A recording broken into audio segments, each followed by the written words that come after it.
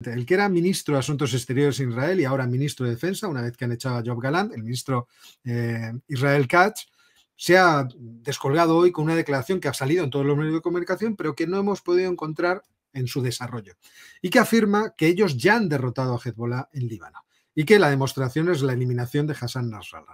Nasrallah. Esta afirmación, obviamente, como a todos, a, todos vosotros, os habrá chocado. A mí me chocó muchísimo y creo que le habrá chocado a mucha gente por ahí.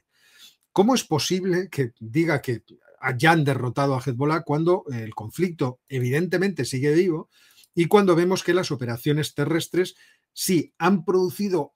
una penetración dentro del sur del Líbano, pero esa penetración sigue siendo bastante insuficiente. Este es mapa de hoy del Instituto para el Estudio de la Guerra, en el que pues, vemos que las posiciones sí han avanzado, pero no se puede decir que hayan ocupado todo ese sur del Líbano hasta el, río Litani, que es obviamente el interés que tienen los israelíes ahora mismo.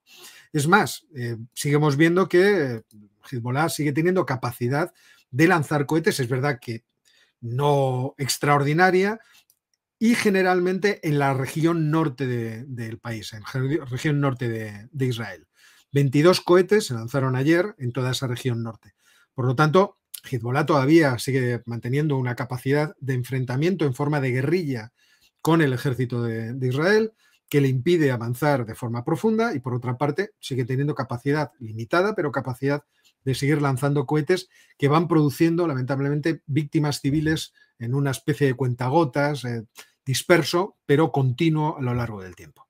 Y mientras los israelíes continúan con sus bombardeos, con el machaqueo, tanto en la región del Valle de la Beca, pero sobre todo en ese sur de, Líbano que aspiran a poder controlar y vaciar para que se cumpla la famosa resolución de, la ONU, la 1071 me parece que era, eh, en la cual se supone que todo eso debería estar despejado de, público. Pero esto sigue adelante, por lo, por lo tanto,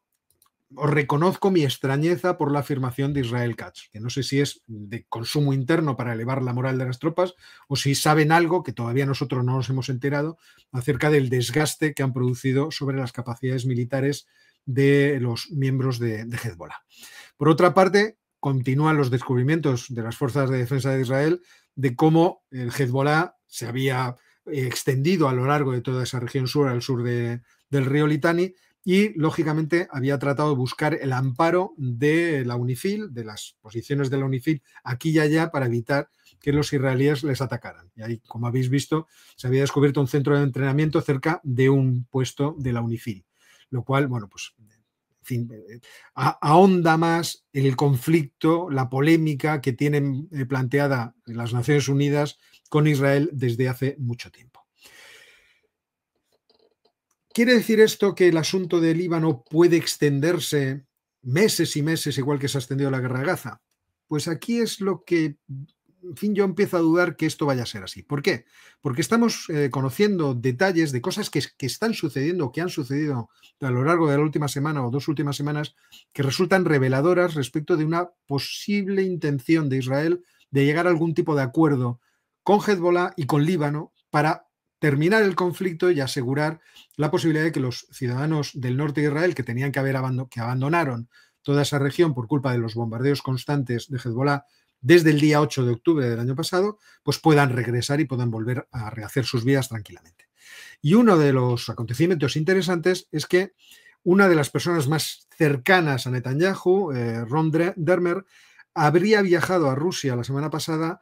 para negociar algo con Rusia que obviamente debe estar en relación con Líbano y con Siria. Eh, es, eh, absolutamente cierto que, eh,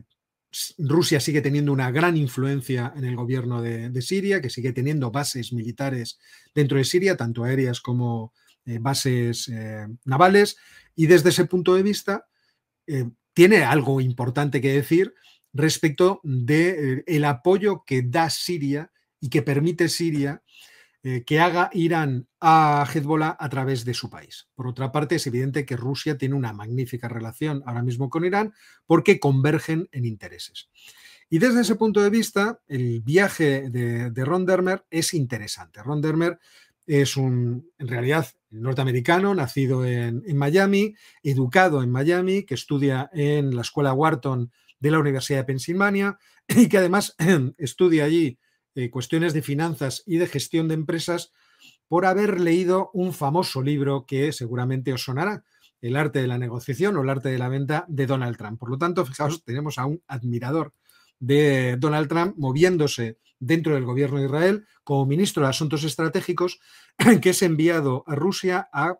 hacer algún tipo de negociación que seguramente está en función de llegar a un acuerdo de paz en Líbano. Eh, además es un personaje interesante, renunció a la nacionalidad de Estados Unidos para tener nacionalidad israelí, eh, ha sido embajador de Israel en Estados Unidos de 2013 a 2021 y al parecer todo el mundo le ve como posible sucesor de Netanyahu en caso de que Netanyahu en algún momento sea derribado del poder, porque fijaos, le llevamos viendo en la política israelí desde que era un joven infante. Y bueno, a pesar de todos los problemas en los que se mete, le vemos todavía ahí mantenerse en el machito. Por otra parte, dentro de la posibilidad de llegar a un acuerdo de paz en Líbano, os acordaos que está este otro señor, Amos Hochstein, del que hemos hablado mucho en el canal, que aquí le tenéis charlando con el, eh, el portavoz, el, presidente de la Cámara, en realidad del Parlamento, Navig Berri, que como sabéis es un musulmán chií del movimiento Amal, por lo tanto del movimiento político que aunque ha estado enfrentado tradicionalmente con Hezbollah, ya os conté hace poco que desde 2015-2016 llegaron a una concertación para enfrentarse a los partidos políticos de, la, em, del bando que llamaban eh, pro-occidental. Y desde ese punto de vista, Amos Hochstein pues, tiene una buena interlocución con el gobierno de Líbano y es posible que, bueno, entre los esfuerzos de Ron Dermer yendo a, Rusia y los de Estados Unidos en Líbano, pues puedan conseguir algo. Y de hecho, Donald Trump decía hace un par de días que él apoya todos estos eh, intentos de Amos Hochstein de llegar a un acuerdo y lo pedía. Quiere que haya, que haya estabilidad dentro de esa región y por lo tanto, pues eh, posiblemente estemos ante una situación eh, interesante desde ese punto de vista. Aunque no sabemos, o por lo menos tenemos una sensación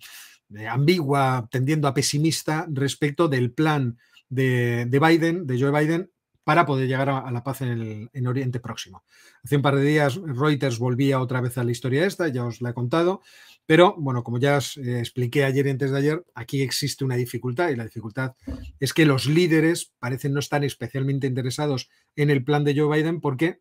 de este momento, desde el momento de la elección de Donald Trump hasta el momento en que tome posesión el 20 de, de enero, es verdad que existe mucho tiempo para irse moviendo en el sentido de adaptarse a lo que pueda querer Donald Trump. Y también para poder discernir qué quiere Donald Trump, que es algo que en realidad no está del todo claro. En el contexto de esta negociación es cierto que los países árabes están próximos a los intereses de Israel y han sido los aliados, entre comillas, ocultos de Israel durante todo este conflicto, frente, obviamente, al enemigo común que es Irán.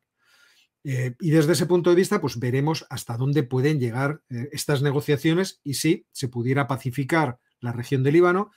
si eso pudiera abrir la llave de pacificar Gaza y por lo tanto de liberar a los rehenes que ahora mismo queden eh, con vida.